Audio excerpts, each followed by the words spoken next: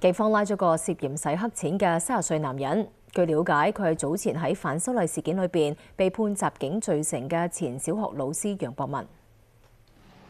警方毒品調查科九月上旬發現一個三十歲嘅男人喺網上社交平台話，因為被控襲警失去工作，目標眾籌五十萬，向公眾提供銀行戶口。到十月尾，發現嗰個男人一共收取五百八十七萬，同眾籌金額不符。